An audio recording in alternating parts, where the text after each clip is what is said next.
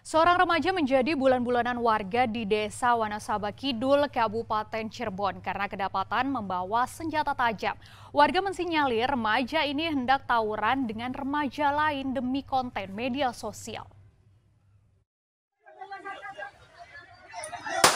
Tembakan peringatan ke udara dilepaskan jajaran Polres Cirebon untuk meredam aksi massa di Desa Wanasaba Kidul, Kecamatan Talun, Kabupaten Cirebon, Kamis sore.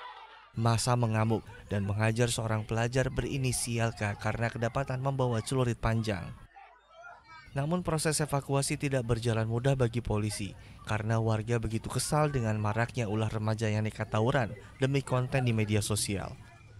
Remaja K bersama dua rekannya mengendarai motor sambil membawa celurit melintasi jalan penghubung kecamatan Talun dan Sumber. Warga berinisiatif bertindak dengan mencegah remaja ini karena sebelumnya warga melihat konvoi remaja lain sehingga disinyalir mereka hendak tawuran. Dan kira-kira ada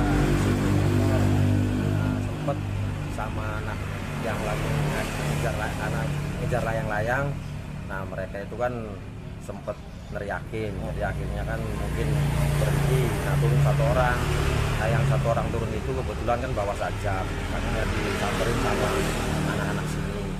Nah kebetulan dia itu kan sajamnya kan masih pakai sarung. Jadi mungkin bukanya agak telat. Jadi keburu dia ketangkap itu Pelaku berdalih hendak menjual senjata tajam dengan sistem bayar di tempat atau COD, namun dihampiri warga dan dihakimi. Bahwa sajam ini berinisial KV uh, mengaku bahwa ketika sedang lagi bermain layang-layang diajak oleh temannya inisial OP dan KR diajak untuk uh, eh, COD-an menjual uh, sajam berikut uh, sejenis turit itu.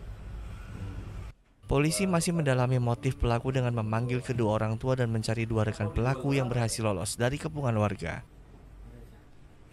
Maruli Habibi melaporkan dari Kabupaten Cirebon.